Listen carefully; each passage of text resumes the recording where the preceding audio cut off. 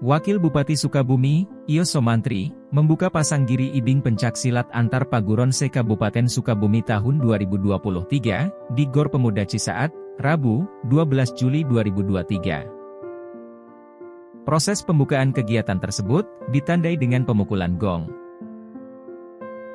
Pasang giri ibing pencak silat ini, diikuti sekitar 255 peserta. Mereka berasal dari 46 paguron yang ada di Kabupaten Sukabumi. Terdapat sejumlah kategori yang diperlombakan untuk putra-putri, terutama untuk usia 9 tahun ke bawah. Ada pula, kategori usia 9-12 tahun, 13-18 tahun, dan 19-35 tahun. Ios mengatakan, pencak silat sudah diakui UNESCO, sebagai warisan budaya tak benda dari Indonesia. Oleh karena itu, pencak silat ini harus terus digelorakan dan disemarakan, terutama di Sukabumi. Pencak silat sudah diakui dunia, kita harus melestarikannya, makanya, kami atas nama pemerintah, sangat berterima kasih adanya kegiatan ini, ujarnya. Berkaitan hal itu pula, IOS berkeinginan untuk seluruh lapisan masyarakat, dapat mengenal dan memahami pencak silat tersebut. Dari anak kecil sampai orang dewasa, kami inginkan bisa memahami serta mau mengikuti jejak leluhur yang telah melahirkan pencak silat, ucapnya.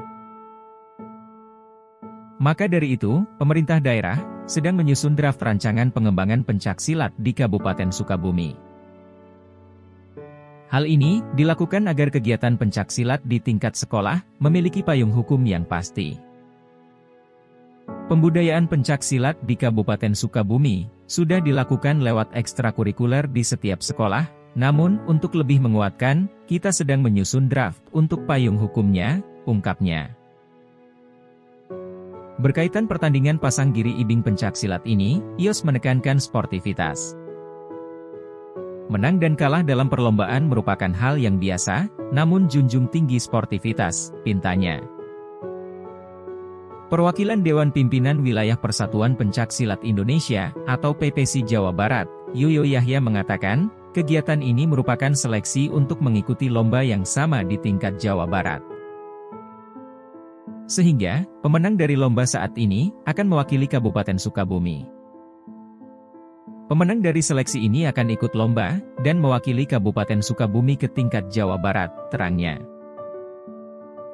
Meskipun kegiatan ini untuk seleksi, namun proses pembinaan pencak silat jangan sampai kendor, bahkan pembinaan harus terus ditingkatkan. Terus lakukan pembinaan, sampai Kabupaten Sukabumi semakin memiliki nama di tingkat nasional, apalagi, dukungan pemerintah terhadap pencak silat di Kabupaten Sukabumi sangat luar biasa, pungkasnya.